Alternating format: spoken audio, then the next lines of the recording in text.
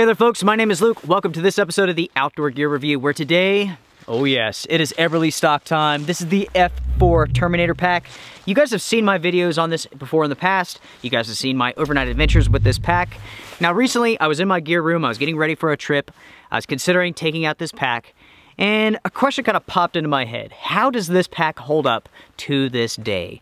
I've had it in my possession for a long time. I've carried it for hundreds of miles, used it on countless trips. But after testing out so many good military backpacks, how does it hold up? I intend to answer that question in this follow-up review. Everybody, let's get to it. To start off here, let's go over some quick information. This will not be as detailed as my previous videos, so if you're interested in those, you can look those up. I will try to put a link in the description box down below for you. Around December of 2011, this pack became a military product. The NSN number is 846501 65068. From what I understand and what I could find online, this pack was issued in a green color. While I've never seen one of these military issued packs, I have found quite a bit of information online in regards to the NSN number. This pack offers you 67 liters, which is roughly 4,100 cubic inches worth of space. There is a larger version of this pack out on the market if you are interested. This is available in Coyote Brown, Dry Earth, Military Green, and of course the Multicam. This is a weapon compatible pack, which means that you can insert a scabbard into this and you can carry that with you. And that does present some interesting functionality with this pack, but also some issues which we'll talk about in just a minute. When it comes to the materials, you're looking at a combination of 1000 denier nylon and 500 denier nylon. You're looking at YKK zippers, and in general, excellent quality with this pack. Because I've gone over this pack in such detail before, I will not do that in this video.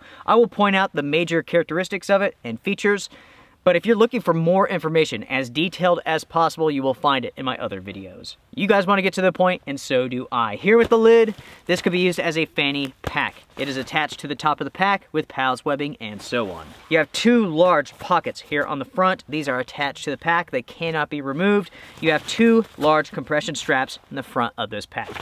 Now, if you take this pack, and you set it down just like so, you can see here, boom, perfect placement for a rifle. This is a shooting platform. You can lay your rifle right on the top and get your shot.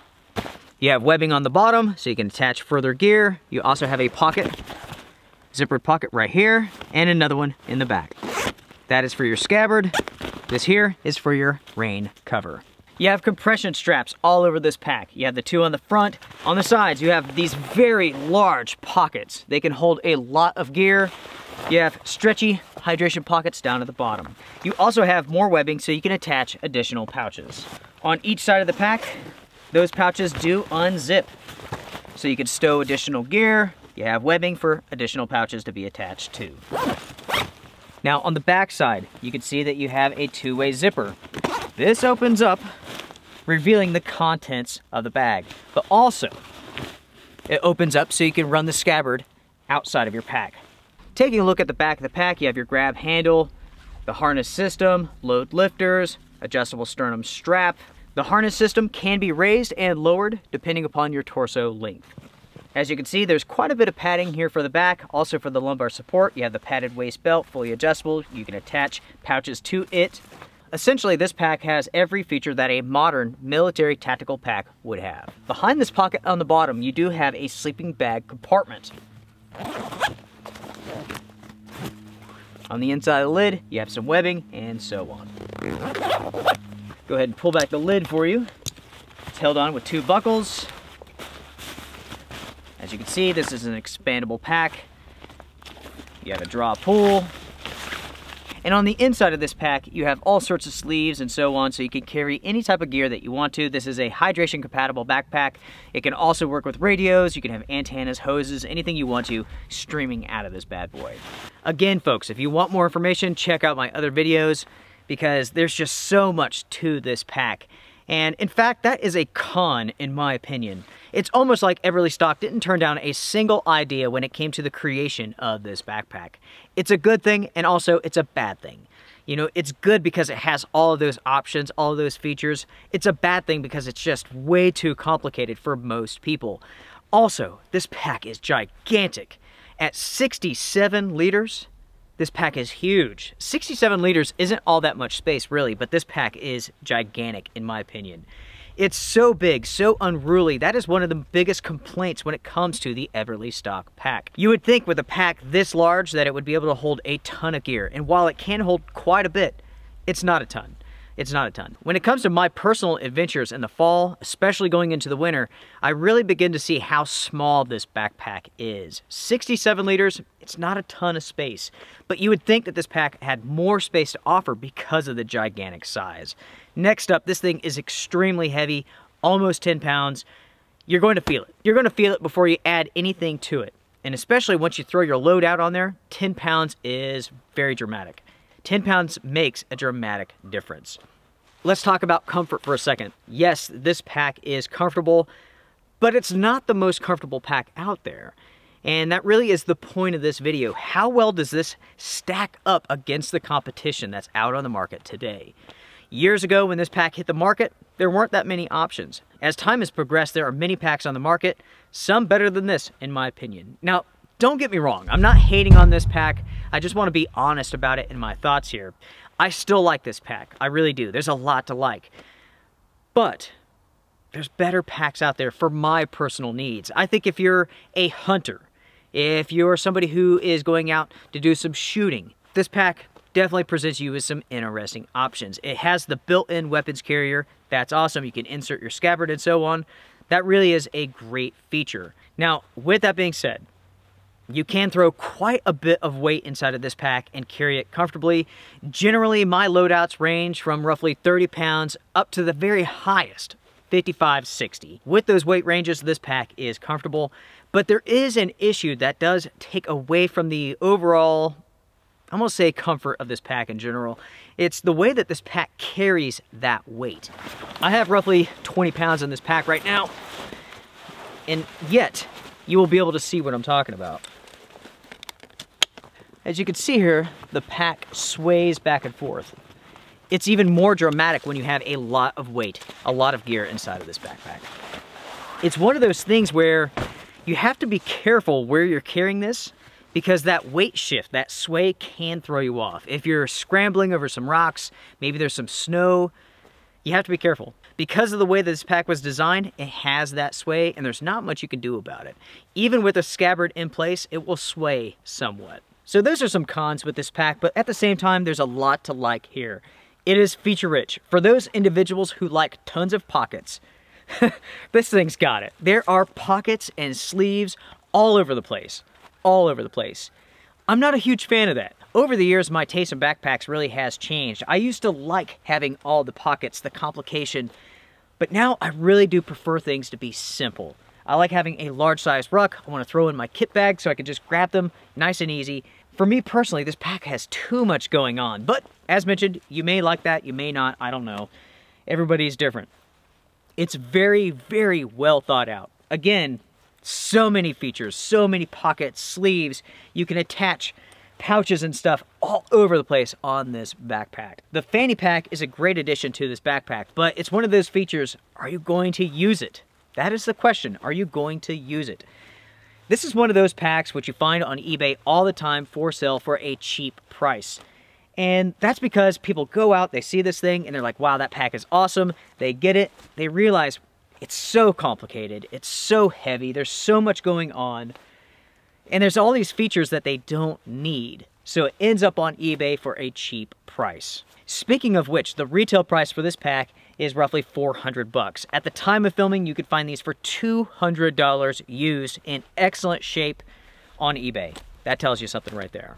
This pack is used with the United States military. There's many soldiers who love it, but there are some common complaints, especially about the way that it handles the weight and the swaying.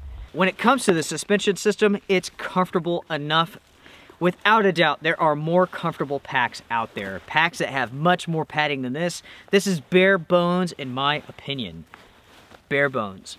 The harness system is adjustable, but for shorter individuals than say myself, I wouldn't really recommend this. You can adjust the pack to fit you, but it begins to create so much distance from the top of the pack and the back here that the weight can throw you off. The distribution is not very good. So if you have a torso length of 19 and above, you can consider this pack. In the end, when it comes to comfort, I'd say it's not bad at all. It can get the job done, but there are packs out there that do this much better. I think that's the key. That's one thing that I really want to focus on for myself. Now, of course, you guys have to keep in mind that these are my thoughts, my opinions. You can disagree, you can love this pack, think it's the best thing of all time, and I won't disagree with you. For you, it may be, but with my opinion, yeah, in my opinion, after testing out so many military packs, this one falls behind. And I want to talk more about that and why that is. First off, this pack is not waterproof by any means. You do have these waterproof zippers and they function well enough. I've heard that the latest version of this pack has made some alterations to those waterproof zippers and they do not work very well. I cannot comment on that any further than that. It's simply what I've read. But with the older version, which this is, because I've had this for numerous years, the waterproof pockets are, they work well enough. With the pack being so large, there's so many nooks and crannies, you will need a pack cover Thankfully, one is included. You will want to include a pack liner to keep your gear dry, in addition to the pack cover. You would think for a pack of this size that the sleeping bag compartment would be bigger. This will fit the average fourth season sleeping bag. You will not get the modular sleep system inside of this, inside of the sleeping bag compartment. There is a divider which you can take out, but if you do that, I mean, it's going to be taking up so much space in here that you're not going to have much room for anything else. This pack is limited on size. 67 liters, as mentioned before, is just not that much. And you would think that a pack of this size would offer you more than that, but it doesn't. Over the years, I've had plenty of issues with packing this backpack, and the thing is, there's just not enough room. Not if you pack your gear like I do. If you want to store things all over the place, you could do that. But I tend to forget where I've put things, you know? That's why I like my gear bags, my kit bags. So with that being said, if you're going to carry a larger sleep system, you will need to carry it on the outside of this backpack. For me personally, the size is the biggest issue with this pack. Next comes that swing. I don't really like that. When I put a backpack on, I really want it to fit like a turtle shell. I want it to become a part of my body. I don't want no swaying back and forth, and unfortunately this pack has some sway. With all of this being said, you really have to ask yourself, what do you need? What are the most important features to a pack that you're looking for? Do you need it to be a weapons compatible backpack? Do you need that location for the scabbard? That is one of the main aspects to this pack. And if you don't need that, if that's not a requirement, there are better backpacks, in my opinion, out on the market. Some people will claim that this is the best bug out pack of all time. It's not a bad option. It's not a bad option. I think there are better packs out there, personally. This one has just simply too much going on for it to be a really good bug out bag. Too many pockets, too much confusion that could come up unless you really want to train yourself. Okay, I have this and that pocket and so on. From a civilian standpoint, from someone who likes tactical and military gear, after testing out so many packs, there are packs that I like more than this. Now, I'm not going to get into which ones that I like better. Maybe, maybe I'll do that in a future episode if you guys want me to. I really do want to hear from you all. What do you guys think about the F4 Terminator pack? I've gone over my thoughts, my feelings on this. I'm sure that there are some people who simply do not like what I have to say about this because it, maybe they have this backpack. Maybe they own an Eberlestock product. Hopefully you can keep an open mind and hear what I'm talking about because the complaints that I've mentioned here with this pack are complaints that are widespread in the tactical military community. These are issues which are present with this backpack that people typically complain about. And of course, I've discovered these on my own over the years while testing this backpack out. I've been hard on this pack in this video, but the truth is, this is still a very good pack. And for some people, for some individuals, it's going to be a fantastic pack. It's going to be a great pack. For my needs specifically, it doesn't fit very well. There are better options out there. There's packs that are more comfortable, that are simpler, that have better features that match my personal tastes. That's how it goes, everybody. That's how it goes. Make sure to comment down below, share your thoughts. If you like this video, hit that like button. If you hate it, you know what to do. Thank you all so very much for your support. Patreon donators, thank you guys. Everybody, take care, strength and honor. I'll see you guys around.